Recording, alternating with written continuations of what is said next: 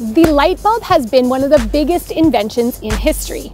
From Edison to LEDs, the lighting landscape is changing at a rapid pace. And on this episode of BC Tech Stories, we check out one BC company who is leveraging technology to create an immersive and interactive lighting experience. The official description of Limbic Media is that, is that we design real-time media control technologies. We create interactive art the user is able to is, is able to engage with the artwork through their voice or, or gesture or their mobile phone or, or, some other means. So we're seeing large organizations interested in them, larger public organizations that want interesting things in, in the public space.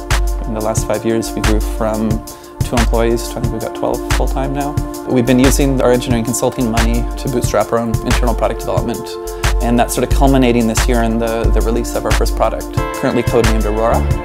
I remember the first iter the, the first time we got these like strands of lights and a couple of the team members were like, hey, I figured out how to like plug them into my laptop and make them react to the mic microphone on the laptop.